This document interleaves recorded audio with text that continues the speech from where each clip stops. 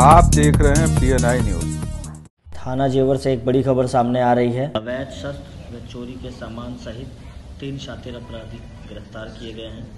इस संबंध में पुलिस उपायुक्त राजेश सिंह ने दी जानकारी। आयुक्त महोदय द्वारा अपराधियों के विरुद्ध छेड़े गए अभियान में कल जेवर में तीन सातिर चोर गिरफ़्तार किए गए हैं जिन्होंने नकबजनी की पाँच घटनाओं का खुलासा किया है। इनके द्वारा और भी घटनाएँ की गई हैं पूछताछ जारी है। इनसे नकबजनी के औज़ार तमंचा छुरा ढेर सारे कारतूस और विभिन्न घटनाओं में चोरी किए गए सामान बरामद हुआ है।